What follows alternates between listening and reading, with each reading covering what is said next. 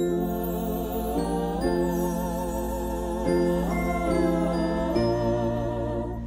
everyone, we are at the Royal Institution and today we are filming lecture 2 of the Christmas lectures. We are just outside of the theatre where we control the audio and the video and we're about to go inside.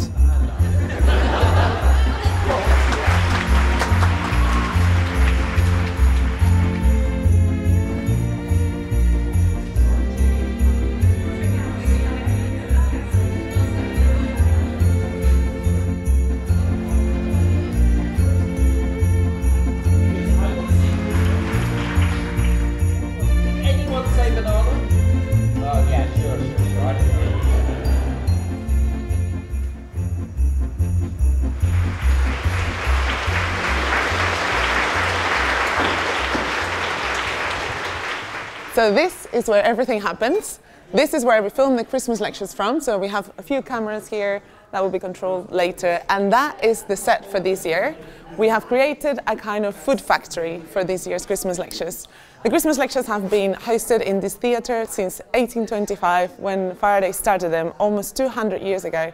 And today it's about 4 p.m. now, so in about two hours this theatre will be full of young people. 400 young people will come and watch the filming of the Christmas lectures tonight. So my name is Judith. I'm the project manager for the Christmas lectures. I've been doing these for about three years, and I basically control everything about the Christmas lectures. I work with uh, the production company, I work with our commissioners, the BBC, and I work with the RI team and the demonstrations team to make it all happen. Okay, so I'm going to show you the demonstration room. We call it the demo room. this is where we create all the demos for the Christmas lectures. So right in here is the demo team getting ready for lecture two. Shall we have a look? Right, so this is a demo room where we create all the demos for the Christmas lectures. A demo is a kind of experiment or a visual demonstration to explain a scientific concept um, in a way that everyone can understand. And in this room, we actually have some props and demos that we've used in the past. You can see over there, um, there's demos from previous Christmas lectures, from kind of Hannah Fry, Alice Roberts, all the way down to Sue Black's demos and last year's um, Michael Wooldridge demos as well. And even we have some demos that were made for, whoop, for the lecture two days ago, uh, lecture one of this year's Christmas lectures.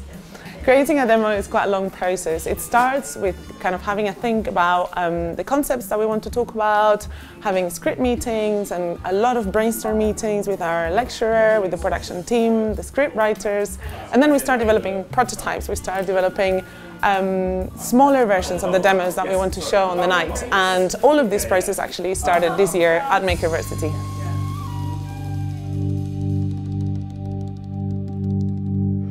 institutions with the look like a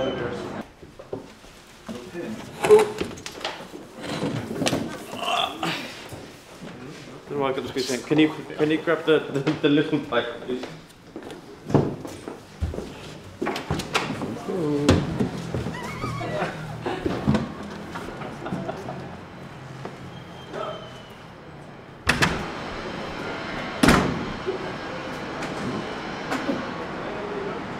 Hello, it's Dan here from the Royal Institution demo team. We are getting ready for the 2024 Christmas lectures. Uh, it is about three o'clock in the afternoon, even though it's very dark all the way down here, but it's very chilly. So let's go into where we're working. We're here at the Makerversity at Somerset House, and this is our vault where we're based this year. In you come. So let me give you the quick tour. Uh, up on the wall, this is the main thing. There's all of our demonstrations uh, in rough order, color coded to who's looking after them, uh, and that's chopping and changing. You can see some have moved to the sides, but that's all of the demos we are currently working on for this year.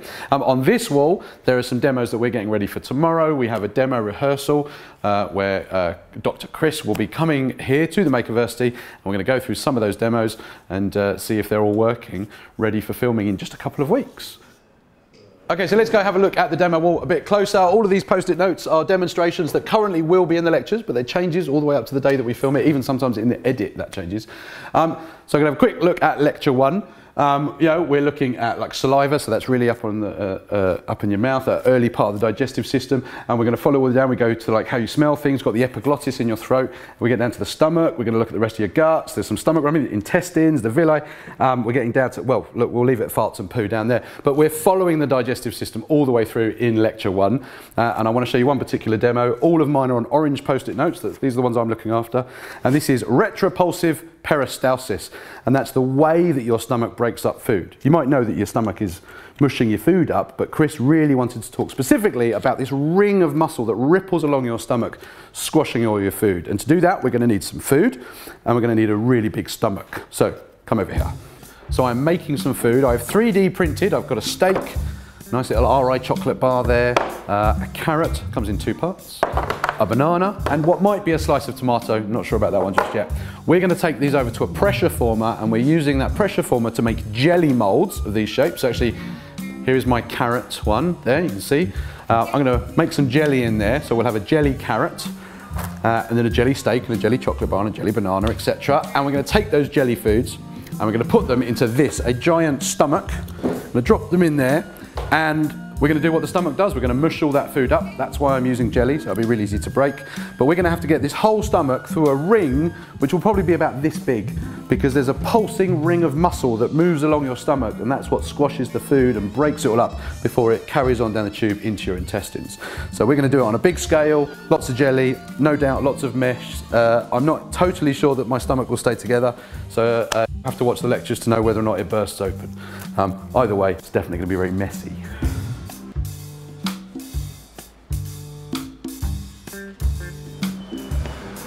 This is the prototype for the poo machine. It's basically a piece of tube. So what we're going to do with this is basically kind of get the kid, it's going to be strapped on like that. So what's going to happen is inside here, it's going to be a, mixture of tissue and water and they're going to actually form the poop. And at the other end, what you should be able to see is the hole. And that poop will be forced out through the hole. So the perfect poop will come out very lovely and the others will either come out a bit too runny or not at all. Now we're here in the digital making space uh, here at Makerversity and we're going to take this 3D printed and uh, filled uh, model of a steak uh, we're going to take a piece of plastic and we're going to make a jelly mold out of this using this very cool piece of equipment here. So I'm going to turn it on first. It's going to take a little while to warm up. Um, while it does that, we'll do the most satisfying thing, which is peeling the protective layer off of here. Our piece of plastic. Going to close the lid. Going to start making a vacuum in there. Uh, going to take our steak.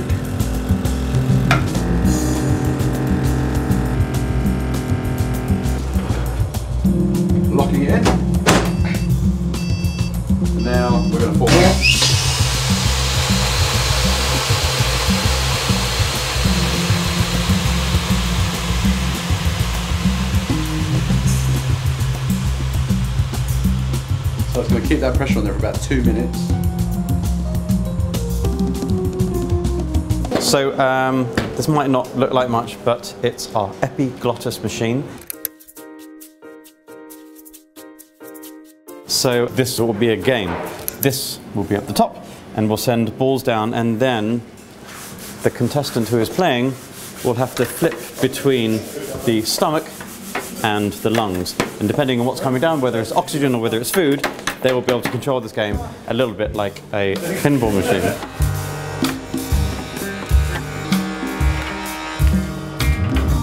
Okay, so we're back in the vault. Uh, we've got our plastic mould, soon to hopefully be a jelly mould, but our 3D printed original is still in there, and it's really sealed in with all that plastic, so I've got to really struggle and fight to get this out.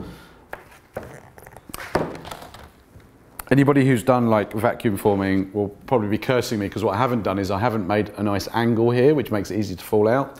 It's a little bit of lazy 3D modelling on my part, but now I'm paying the price.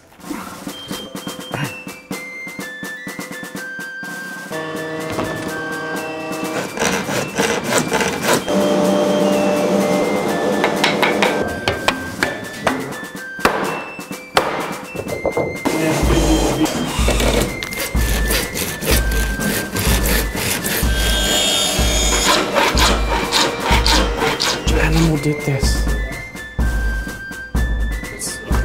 Yeah. Yeah.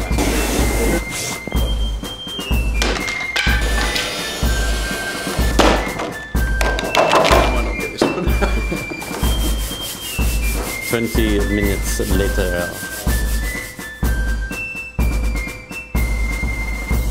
So this is the lecturer's corridor. This is a really special place for me because it's the one space at the RI that is dedicated to the Christmas lectures.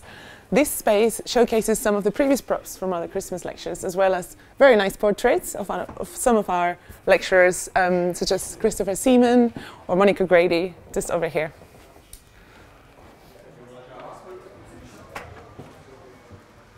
This is what we call the gallery.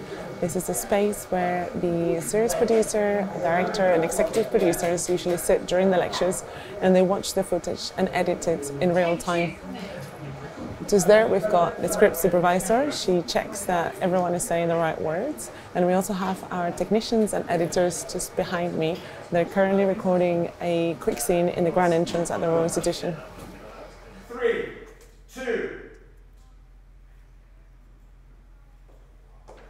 Our bodies and engines use similar fuels, but food is much more than an energy source for our bodies. It's also our construction material. It makes us who we are, and I'm going to show you how.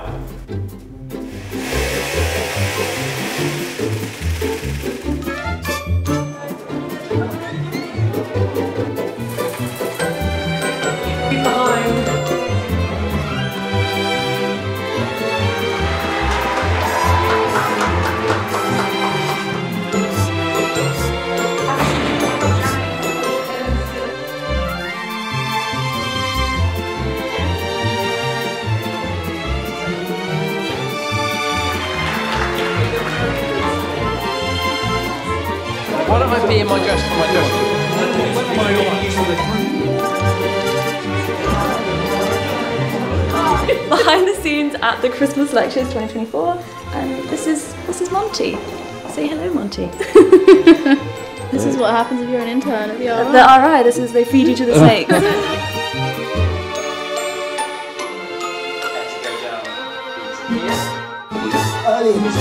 Right, so now you've seen how the Christmas lectures are filmed, but that's not it. So once we get all the footage from lecture three on Saturday, we'll have about two weeks to put everything together and edit it before it gets broadcast on BBC Four at the end of December. But the Christmas lectures are an all year round project. We have loads of online activities you can do, we have teacher resources, we have shows going all over the country, and then once we all get back from the Christmas holidays, we'll have to start all over again to plan next year's Christmas lectures. Don't forget to watch the 2024 Christmas lectures, The Truth About Food, on BBC iPlayer and the RI's YouTube channel. And you can also check out our archive of previous Christmas lectures on our YouTube channel.